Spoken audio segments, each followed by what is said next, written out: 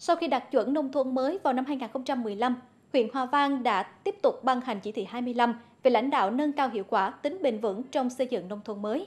Giai đoạn 2017-2020, đến nay quả ngọt cho nỗ lực của cả hệ thống chính trị và sự đồng thuận của người dân là bộ mặt nông thôn Hòa Vang đang ngày càng tươi tắn hơn. Kết cấu hạ tầng được đầu tư theo hướng đô thị, đời sống vật chất và tinh thần của người dân không ngừng cải thiện, đã góp phần kiến tạo quê hương giàu đẹp, văn minh, có bản sắc riêng. Xác định hạ tầng cơ sở là yếu tố then chốt thúc đẩy phát triển kinh tế xã hội nên từ năm 2017 đến nay, huyện Hòa Vang không ngừng đầu tư hoàn thiện các nhóm tiêu chí về thủy lợi, điện, trường học, cơ sở vật chất văn hóa, hạ tầng thương mại nông thôn, nhà ở dân, vân vân.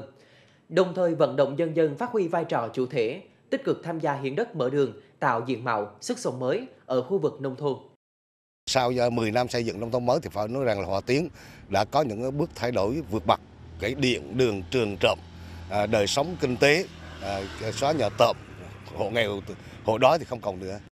Cùng với cơ sở hạ tầng, huyện Hòa Vang đã đề xuất thành phố ban hành cơ chế chính sách đầu tư xây dựng nông thôn mới giai đoạn 2017-2020, trong đó có chính sách hỗ trợ khuyến khích đầu tư nông nghiệp ứng dụng công nghệ cao. Đến nay, toàn huyện đã hình thành 17 vùng sản xuất chuyên canh với tổng diện tích gần 237 ha. Hiện nay, huyện đã phối hợp với thành phố quy hoạch 6 khu công nghiệp công nghệ cao để thu hút đầu tư và mới đây thành phố đã phê duyệt 3 vùng ở Hòa Khương, Hòa Phong và Hòa Phú. Các mô hình kinh tế phát huy hiệu quả đã tạo điều kiện cho người dân nâng cao thu nhập. Đến cuối năm 2020, mức thu nhập bình quân của toàn huyện tăng lên gần 55 triệu đồng một người một năm. Chương trình mục tiêu quốc gia về xây dựng nông mới phải có sự lãnh đạo, chỉ đạo quyết liệt, sao sót của các cấp ủy, chính quyền và sự vào cuộc đồng bộ và tích cực của cả hệ thống chính trị từ xã đến thôn. Trong giai đoạn 2017-2020, cùng với tổng nguồn vốn đầu tư xây dựng nông thôn mới trên 1.800 tỷ đồng và các chính sách hiệu quả của trung ương, thành phố, nỗ lực của hệ thống chính trị trên địa bàn huyện và chính mỗi người dân đã góp phần làm rạng ngời thêm nét tươi mới ở vùng nông thôn Hòa Vang. Khi đến nay, huyện đã đạt 9 trên 9 tiêu chí huyện nông thôn mới, 100% xã cán đích, xã nông thôn mới. Giai đoạn 2017-2020, trong đó có hai xã được thành phố công nhận xã đạt chuẩn nông thôn mới nâng cao, 17 thôn được công nhận thôn kiểu mẫu nông thôn mới. Hiện nay thì Trung ương chuẩn bị ban hành cái chuẩn nông thôn mới giai đoạn 2021-2025